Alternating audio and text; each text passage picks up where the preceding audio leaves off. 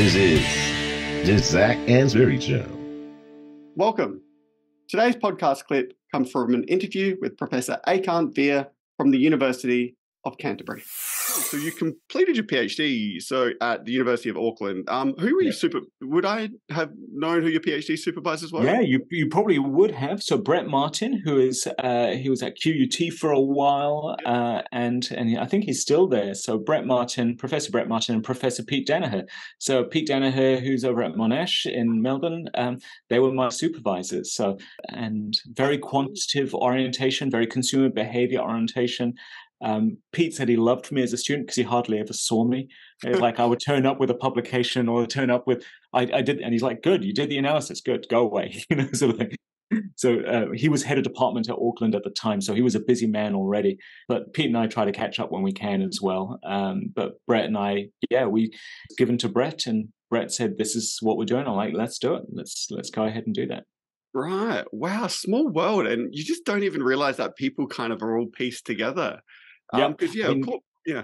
I was thinking uh, Auckland in the early 2000s was a bit of a powerhouse. You know, there were a lot of really top academics there, and then just suddenly a bunch of people left all at once and set up as heads of department, heads of research in all sorts of uh, places around the world, around um, Australia. Rod Brodie, Uncle Rod. I don't know if you've met Rod Brodie, but Uncle Rod was the one who gave me a shot. He was head of department when he when I was being recruited. Pete took over as head of department. And so whenever I see Rod, I, I keep telling him, you know, I'm your fault. You're the one that dragged me out of in industry to come back to academia. You're the one that gave me a shot at, at providing a, an income for my family and, and still do this. So, um, yeah, he's a good guy. Have a lot of love for Rod. Yeah, yeah, he does seem like a guy. I've never actually spoken to him, but um, yeah, I know his research and I've seen his name all over a whole bunch of papers, as you would imagine. Did you say you went between your undergraduate degree and then you went into industry and then your PhD. Is that what happened? Correct. Yeah, that's that's better. Yeah, that's right. So I started off, uh, you know, looking for a real job, wanting to earn some money. Uh, spent a couple of years in uh, Pacific Micro Marketing (PMP), which was, uh, you know, politely we call it uh, direct marketing, but impolitely it's junk mail, effectively. Uh, but junk mail is a perfect, perfect way to really harness your consumer behavior skills and your research skills. And that's when I really started to fall in love with it, because we would get massive data sets, like just huge volumes of data uh, Excel spreadsheet saying this is all our sales data tell us where we should distribute our flyers, tell us where we should post. And so we would do geodemographic behavioral segmentation, we would do all that sort of stuff. This is back in the early 2000s. And again, you know, many of your listeners are probably too young for this.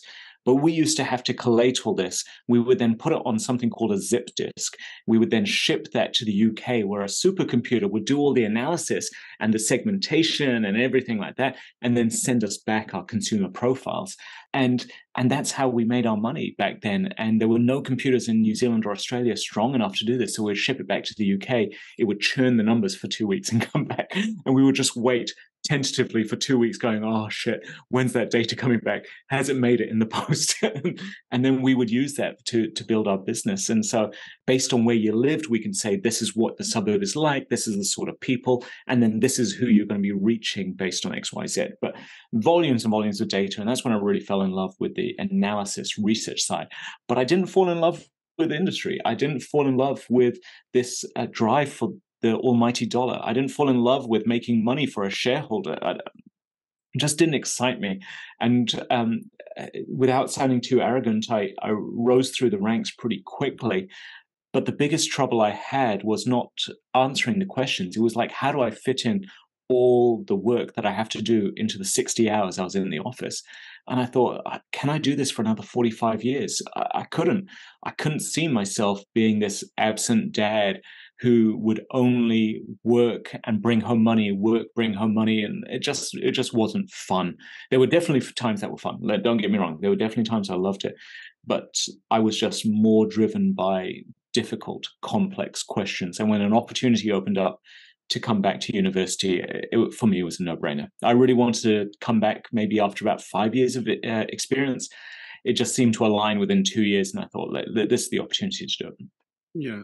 So you already had those existing connections with uh, Auckland, or no, not really. You know, so uh, when I was at Waikato, I was um, taught and mentored by uh, Karen Fernandez. Some people know Karen, and so she was at University of Waikato. She moved to Auckland, and so she would take me out for coffee regularly. She kept saying, "You're going to be a great academic. You need to come back. You need to come quit this real world stuff. Be an academic." And so she would take me out for lunch and coffee almost monthly, trying to coax me back. And then eventually it happened, and she she did a lot of work working with Rod to make sure that uh, I could get a scholarship and blah blah blah blah blah. So I'm eternally grateful for for her and for them for for making the opportunity because financially I had you know I had to do it as well. I had just got married. We were hoping to have a family. I think shit, we might have even had a mortgage. This is probably insulting to a lot of uh, Gen Z and millennials listening and say, You had a mortgage at 23? Yeah, a mortgage at 23. Uh, this was 20 plus years ago. So um, uh, I had to make it financially make sense to me as well. But also, we still took a big financial hit from industry to go back to academia, but I I wouldn't be where I was if it wasn't for that. And I'm grateful for the funding that was provided by the university. Also grateful that my wife was willing to sacrifice and and be a, almost a sole income earner for a period of time to support me, to say, "Yep, this is what we need to do," and uh, hopefully, I've been able to repay that back to her. Yeah, that's a really gutsy move, especially at that stage of your life to really kind of pivot. Um, yeah, well, dramatic pivot. Uh, genuinely, and uh, you know, we we made a bunch of gutsy moves um, over the years. I remember when I interviewed. So after I did my PhD, I'm rushing ahead. My apologies, but right. after I did my PhD, I started looking for jobs, and University of Bath came up. So Brett Martin, who was my supervisor, had just been offered a job at there, and he said they're looking for a lecturer. I can't be involved. I can't even give you a reference because of the conflict. But you should apply. And so I did apply, and yes, there was obviously going to be some conversations, and Brett would have spoken for me, um, but I still had to get it on my own merits. And I remember the dean calling me up in my office in New Zealand and saying, "We'd like to offer you the job." But we need you in three months' time. You need to pack up your life and you need to be here for the start of semester one. And I kind of said, oh, I was hoping to pack up things slowly, see you in six, eight months' time. And he goes, No, you need to come to England now so you can start in semester one. What's the answer? And I, I was on the phone and I'm like, if you want an answer right now, it's no. But if you can give me five minutes to talk to my wife, it could be yes. And he kind of went, Fine, talk to your wife, call me back. And so I called my wife and I said, they they they want me they want us they want me to be a lecturer at Bath. She said that's amazing. And I said, but they need us in three months' time. Should we do it? And she goes, yeah, let's do it. And so we we basically both quit our jobs, packed up our lives, and three months later, with a 15 month old daughter, so she was just turned one when we got the call. 15 months old, we were in England with no support network, nothing. My family lived in Kent, but that's the other side of the country from Bath. Uh, there's a photo of us at my fam, my parents' home, uh, with our tiny daughter on the beach, and we felt like we were just in control of the whole world. I had hair, you know, I didn't have wrinkles. You know, we were just like we're the masters of our universe. And blah. And I look at it now, I'm like, who the fuck let these kids make this terrible choice? Where was the support? Why didn't they tell them to deploy? but the, the, we just felt completely in control, and it was just a beautiful adventure for us going to the UK. But within minutes, we had to make decisions. Within months, we had to pack up our entire life. You know, that's that's just the nature of life sometimes. Mm. So that's something that uh, you do hear uh, semi regularly, actually, is people needing to move for those big sort of career opportunities. So it was obviously a big decision, made it in five minutes, which I think is absolutely incredible as well. I mean, we had talked about this earlier. Yeah. If this came up, would we do it? Like, yes, but January, not September. Yeah. yeah. So Bath is obviously a very, very gorgeous city. Gorgeous. Um, yeah. I don't know what you would call it, but yeah, far out. Um, highlight, and if you have, anyone's ever in England to go to go visit, and the university Definitely. there, the campus is, is is spectacular as well. Yeah, I mean it's it's not your typical Gregorian architecture like the rest of the city is. It's on the hill, uh, and it's it's kind of that '60s brutalism that many of the British universities are known for. Um, but beyond buildings, beyond cities, beyond everything, it, it, it, had a beautiful group of people.